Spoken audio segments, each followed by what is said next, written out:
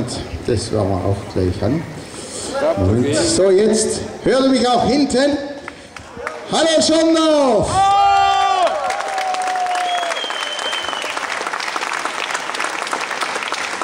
Seit März ist es wahrscheinlich die 55. Demo, auf der ich bin. Und nach Schondorf komme ich ganz besonders gern. Das ist einfach super hier. Danke!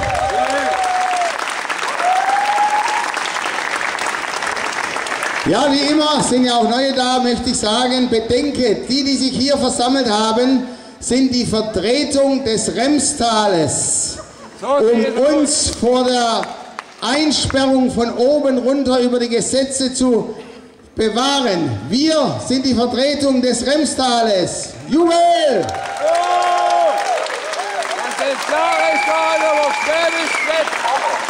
Da stellt sich jetzt die Frage, ob im Remstal nicht so viele wohnen oder ob heute nicht alle gekommen sind. Ja, es ist einfach wichtig, jeden anzusprechen. Das ist ja immer mein Thema. Ich bin äh, sehr, sehr in Wallung und äh, ich muss sagen, ich war ja in Berlin. Ich war am ersten Fahrzeug. Die Fahrzeuge, der Umzug durfte ja nicht fahren.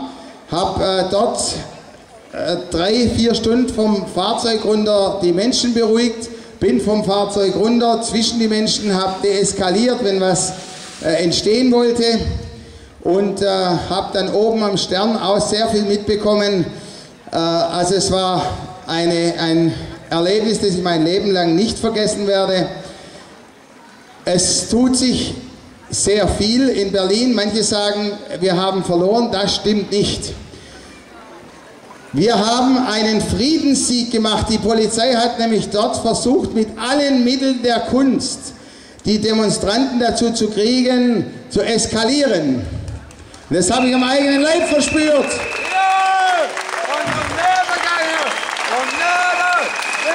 Und wir haben es geschafft. Was ist? Ist es zu laut? Nein, ja. Wem ist zu laut? Arm hoch. Ach, ihr müsst Oropax mitbringen, wenn ich spreche. Ja, und ich habe mit vielen Polizisten gesprochen und die allermeisten Gespräche waren wirklich gut. Und manche haben einfach gesagt, was sollen wir machen? Wir bekommen hier den Befehl, wir müssen es ausführen. Es ist Gott sei Dank nicht eskaliert und wir haben, möchte ich jetzt einfach so sagen, wir haben die Friedensprüfung in Berlin bestanden.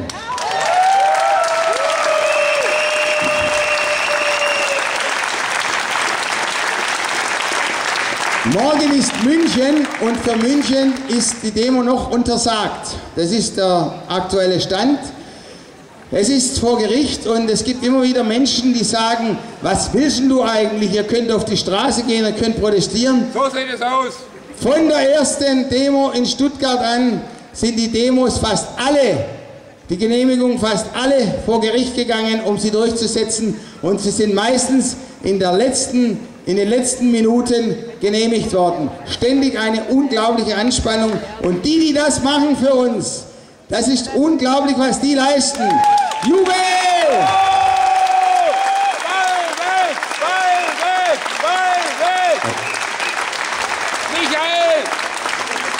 Falls jetzt äh, euch welche begegnen, die sagen, es ist ja alles wieder normal, das stimmt nicht. Ich möchte ganz kurz einige Faktoren aufzählen und dann möchte ich zu meinem Thema kommen, wie spreche ich mit den Menschen. Also im Autokino in Stuttgart, wenn ihr einen Cabrio habt, fahrt ihr dort rein, das Dach dürft ihr runter machen, die Scheiben müssen oben bleiben. Wer hat sich denn sowas ausgedacht, um Gottes Willen? Wenn ihr in die Sauna geht, dürft ihr dort ohne Mundschutz sein. Im Nahkampf im Sport, Karate, dürft ihr ohne Mundschutz kämpfen. Im Kino müsst ihr zwei Sitze auseinandersitzen. Wer hat sich denn sowas ausgedacht? Am Flughafen müsst ihr Abstand halten. Im Flugzeug sitzt ihr Schulter an Schulter. Ich habe Beziehungen zu Airbnb und habe mit Airbnb gesprochen wegen einer geschäftlichen Angelegenheit, dass Zentrum von Airbnb sitzt in Barcelona, das sieht man dann am Telefon Barcelona. Und dann habe ich nach dem Gespräch gesagt, darf ich mal fragen, wie sieht es eigentlich bei euch so aus mit, äh, mit der ganzen Corona-Sache? Und da hat die Frau zu mir gesagt, eine Katastrophe. Es hat es noch nie gegeben, noch gar nie, dass Menschen nicht an den Strand dürfen und die Strände sind leer und werden mit Hubschraubern überwacht. Bei uns sind abgesagt worden sämtliche Volksfeste dieses Jahr. Es sind jetzt die Weihnachtsmärkte abgesagt worden, die im Dezember sind. Drei Monate vorher. Wer weiß nicht, was in drei Monaten ist. Es sind Messen abgesagt worden und bereits vorgegriffen auf nächstes Jahr auf den Fasching abgesagt. Wir sind im Bereich Mittelaltermärkte tätig. Es gibt in Deutschland keine Mittelaltermärkte mehr. Was das bedeutet, kann sich keiner vorstellen. Es gibt über 1000 Mittelaltermärkte, große, die angemeldet sind und es gibt viele, viele kleine noch. Das ist eine Industrie, von der ganz, ganz viele Solo-Unternehmer leben. Die sind teilweise, viele sind einfach fertig, sind kaputt. Auch wir haben keinen Auftritt mehr seit März. Wir haben seit März keine Einnahmen mehr und werden dieses Jahr auch nichts mehr verdienen. Aber ich sage es jedes Mal an dieser Stelle, das ist für mich gar nicht das Schlimmste. Das Schlimmste ist, dass so viele Menschen schlafen, pennen, nicht aufwachen und nicht erkennen, was hier läuft.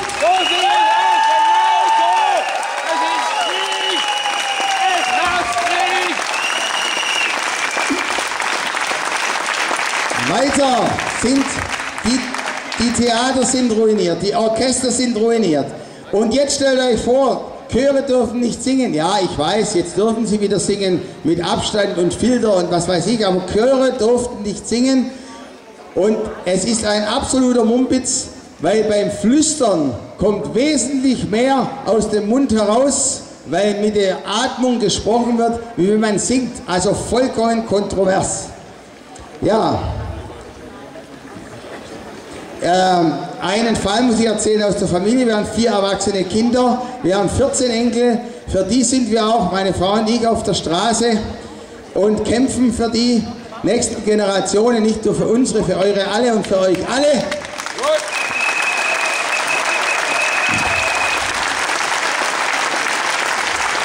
Und bei einer Tochter hat die Kindergärtnerin gesagt, du brauchst gar keine Impfunfähigkeitsbescheinigung bringen, die zählt bei mir nicht. Es müssen ja als Masernimpfung vollzogen sein, dass ein Kind überhaupt in den Kindergarten gehen darf. Da hat die von vornherein gesagt, wer eine Impf, ich muss nur ablesen, Impfunfähigkeitsbescheinigung bringt, die zählt nicht. Das müsst ihr euch mal vorstellen. Da werden wir aber rechtlich dagegen vorgehen. Und Melbourne, du hast bereits gesagt, was dort abgeht. Und dort sind intelligente Drohnen unterwegs, die die Autonummern aufnehmen und erkennen, ob ein Auto mehr wie fünf Kilometer vom Wohnort weg ist. Und dann wird ein Polizeieinsatz gefahren und die Leute werden verhaftet. So weit sind wir. Furchtbar. Ja, wenn wir jetzt argumentieren, kommen wir bei vielen Leuten nicht an und ich weiß, ich sage euch auch warum.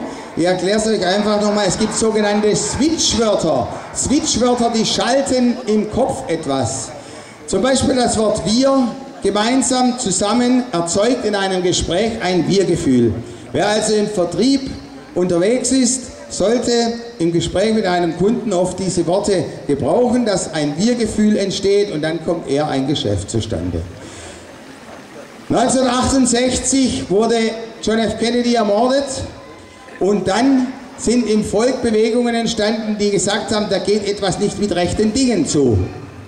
Und es sind Bewegungen entstanden, so wie bei uns jetzt auch. Und da hat das CIA den Auftrag gehabt, sich etwas auszudenken, psychologisch die ganze Sache in den Griff zu kriegen. Und sie haben ein Wort entwickelt, das Wort Verschwörungstheorie. Sauerei! Richtig! Und unsere Regierung benutzt dieses Wort schamlos und auch die Medien benutzen dieses Wort schamlos. Und ihr habt es alle bestimmt schon erlebt, wenn ihr mit jemandem im Gespräch seid und er sagt dann plötzlich, ach, das ist ja eine Verschwörungstheorie, da bist du auf der Seite, dann ist das Gehirn zu. So sieht es aus. So sieht's aus, ja. Ich hatte 20 Jahre gelernt. Jetzt könnt ihr natürlich an dieser Seite sagen, an dieser Stelle sagen, Mann, wenn ich einmal mein Gehirn verstecken will, verstecke ich es bei dir im Kopf, weil da sucht kein Mensch ein Gehirn. Aber dann spricht er ja nicht mehr mit euch. Das wollen wir nicht. Nein, wir machen das ganz anders. Und ich habe es in Berlin, war, ich war zwei Tage vorher, habe den Aufbau mitgemacht teilweise und äh, habe das dort den äh, Kollegen auch gezeigt, wie das so geht. Äh, wenn ich ähm, jemanden treffe, sage, ja, guten Tag, und Sie, Entschuldigung, darf ich Sie mal was fragen? Ähm, also, wo haben denn Sie so Ihre Informationen zu Corona her? Ja, ich höre die Tagesschau und heute und die Tageszeitung. Korruptes Volk! Ach was, sage ich. Ja, ja, das, das höre ich auch. Aber da hat mir einer was gesagt, wo man noch ganz andere Informationen herbekommt. Moment mal, ich, wie heißt denn das? Wie heißt denn das? Ah, Telegram, haben Sie es schon mal gehört? Die meisten haben es noch gar nicht gehört. Dann sage ich, das ist sowas ähnliches wie WhatsApp, das können Sie kostenlos runterladen. Der Server steht in der Schweiz, das stimmt jetzt nicht ganz, da steht auch einer, aber egal.